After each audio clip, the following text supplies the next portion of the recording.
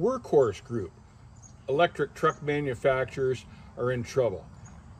People aren't buying their stock. So to raise more money, what they want to do is put more stock available on the market. The problem with splitting the stock is that the stock devalues the stock that's already out there. Now, the majority of workhorse stock is owned by, by BlackRock and Vanguard, two huge investment companies. They have to give permission for Workhorse to split the stock like that. Vanguard and BlackRock will lose money. And big investment firms generally don't vote for anything that costs them money. They're in the business to make money.